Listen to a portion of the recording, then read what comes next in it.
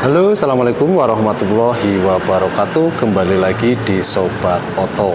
Pada kesempatan kali ini saya akan membandingkan tiga motor sekaligus di di mana ketiga-tiganya ini merupakan varian CPS ISS Ada perbedaannya apa saja tentang ketiga motor ini? Antara lain yaitu New Honda Vario 125 New Honda Vario 160 dan New Honda PCX 160. Sebelum ke videonya, saya mohon dukungannya dengan cara subscribe channel dari saya dan bunyikan loncengnya untuk mendapatkan informasi menarik video lainnya dari saya. Dan yang sudah subscribe, saya ucapkan terima kasih. Semoga channel ini bisa semakin berkembang, bermanfaat bagi kita semua sob. Dan bagi teman-teman yang menginginkan modifikasi sepeda motornya baik dari merek Honda ataupun merek yang lainnya saya sertakan link toko variasi yang ada di kolom deskripsi.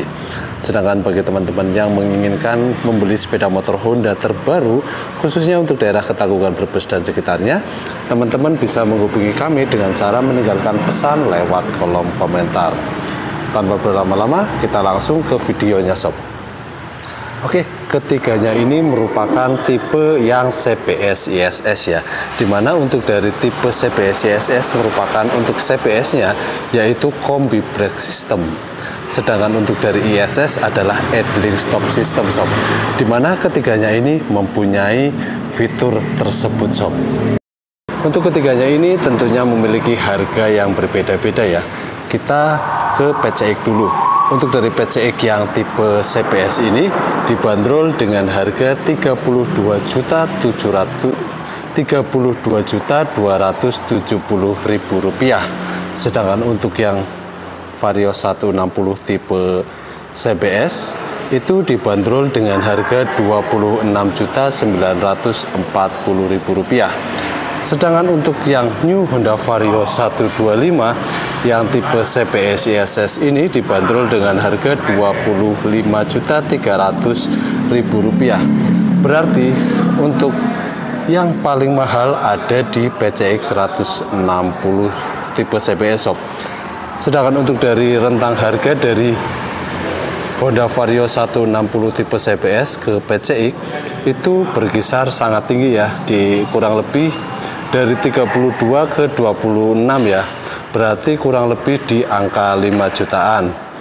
Sedangkan untuk dari New Honda Vario 125 tipe CPS CSS dengan New Honda Vario 160 tipe CPS itu dibanderol kurang lebihnya 1 jutaan sob. Nah, saya jelaskan dulu untuk dari tipe CPS ya. CPS itu merupakan kombi brake system yang disematkan pada ketiga motor ini, yaitu di sistem pengeremannya sob. Jadi bila mana teman-teman menarik tuas rem pada bagian sebelah kiri, maka rem depan dan belakang akan ikut mengerem sob. Ya, itu berlaku untuk daerah untuk uh, Vario 125, Vario 160 dan PCX 160. Sedangkan yang berikutnya adalah sistem ISS atau idling stop system. Dari idling stop system ini merupakan tombol yang ada di sini ya. Ini bila mana diaktifkan, terus mesin posisi sudah panas, motor dalam keadaan berhenti, maka mesin itu akan mati dengan sendirinya. Untuk menjalankannya lagi tidak perlu memencet starter tapi tinggal ditarik tuas eh, tuas gasnya saja ya sob maka mesin akan langsung berjalan atau motor akan langsung jalan dan persamaannya lagi di ketiga motor ini merupakan adanya teknologi smart key system atau keyless sob untuk dari New Honda Vario 125 yang tipe CBSISS ini sudah dibekali keyless. Sedangkan untuk dari New Honda Vario 160 yang tipe CBS ISS juga itu sudah dibekali keyless. Sedangkan untuk yang New PCX 160 tipe CBS ISS juga juga sama sudah dibekali keyless. Nah, di sini untuk perbedaannya yang pertama adalah dari segi dimensinya ya, di mana ketiganya ini mempunyai dimensi yang sangat berbeda. Yang paling besar dimensinya ada di New PCX 160 sob. Kita lihat dari bodinya juga sudah terlihat bahwa di sini dari bodi tinggi, besar, dan lebarnya juga berbeda ya. Kita bisa lihat di sini dari PCX, PCX 160 itu yang paling besar, terus di tengah-tengahnya ada Vario 160, terus yang paling kecil ada di Vario 125. Begitupun juga pada bagian kaki-kakinya sob. Nah, di sini kita bisa lihat untuk kaki-kakinya dari New Honda Vario 125 ini memang sudah lebih besar daripada Vario 125 yang terdahulu. Untuk dari ukuran bannya itu ada di 90 per 80 diameter ring 14. Sedangkan untuk dari New Honda Vario 160 itu ada di ukuran ban 100 per 80 dengan diameter ring 14 sob. Sedangkan untuk PCX di sini menggunakan ukuran 110 per 70 dengan diameter ring 14 jadi ketiganya ini merupakan uh, di samping dimensinya berbeda juga untuk dari kaki-kakinya juga berbeda sob. Nah cuman untuk dari pengeremannya ini yang lebih kekinian modelnya itu ada di New Vario 125 ya di mana untuk dari disc brake pada bagian depan sudah menggunakan disc brake model wave.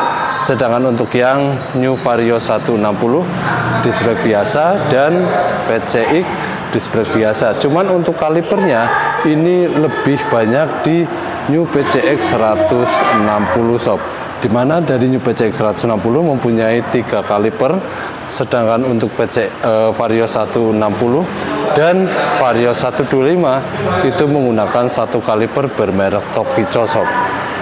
Geser ke lampu pada bagian pencahayaannya. Ketiganya ini sudah menggunakan lampu full LED ya, baik dari New Vario 125, 160 dan PCX 160 sudah menggunakan LED baik dari lampu sen, DLR maupun lampu pencahayaan utamanya. Sedangkan untuk lampu pada bagian belakangnya pun sama saja ya. Di sini ketiganya sudah menggunakan lampu LED baik dari lampu rem maupun lampu sennya. Cuman yang berbeda di sini kalau Honda Vario 160 ini terdapat tongolan. Tongolan ini lampu yang menerangi plat nomor ya. Sedangkan Vario 160 juga ada, cuman untuk PCX itu tidak ada karena menyatu langsung pada bagian lampu remnya sob. Dan persamaan yang berikutnya yaitu ada di power charger atau power outlet. Di mana untuk dari Vario 125 yang tipe CPS ISS ini juga, juga sudah dilengkapi power charger atau power outlet yang sudah menggunakan USB sob. Nah, sedangkan untuk dari Vario 160 ini juga sama sudah menggunakan power charger atau power outlet yang sudah menggunakan USB ya. Ini Nah, nggak kelihatan ya. Bentar sob. Nah, ini ya sob ya. Sedangkan untuk dari PCX juga sama, ini sudah menggunakan power charger atau power outlet yang menggunakan USB juga sob. Nah, di sini sob. Kalau PCX di sini sob. Bentar. Nah, ini ya. Dan untuk dari panel meternya, ini ketiganya juga sudah menggunakan panel meter atau speedometer yang menggunakan digital ya. Ini untuk New Honda Vario 125 dan ini untuk New Honda Vario 160. Ini kalau yang Vario 125 dan 160 sama sob untuk dimensinya untuk digital panel, panel meternya terus untuk indikator-indikatornya itu sama ya bentuknya juga sama nggak jauh beda sama persis. Dan untuk dari PCX 160 seperti ini untuk digital panel meternya. Nah untuk yang PCX 160 memang di sini terlihat lebih besar ya karena mengukur e, bodinya juga lebih besar maka dari panel meternya ini pun juga lebih besar sob. Nah, di ketiganya ini yang paling sangat berbeda yaitu adalah di mesinnya ya. Sedangkan untuk mesin dari New Honda Vario 125 ini tentunya menggunakan mesin 125 cc. Mesinnya ini masih mesin ESP PGM-FI ya dan berpendingin radiator atau air. Sedangkan untuk Vario 160 itu mesinnya sudah sedikit lebih baru sentuhannya yaitu mesin ESP Plus PGM FI juga dengan cc tentunya 160 dan berpendingin air juga atau radiator. Nah untuk dari PCX itu mesinnya sama dengan New Honda Vario 160 sama persis. Bedanya kalau PCX dan Vario 160 ada di desain bodinya sob. Kalian pilih mana nih? Semakin bingung kan? Dari New Honda Vario 125 160 atau PCX tentukan pilihan kalian di sini semuanya itu menggunakan sama-sama teknologi CPS ISS. Jadi tergantung dari uh, teman-teman menginginkan yang mana atau kebutuhannya apa nih. Ya. Tidak usah bingung-bingung sob karena semuanya ini mempunyai kelebihan dan kekurangan yang masing-masing. Terima kasih yang sudah menonton video ini dari awal sampai akhir.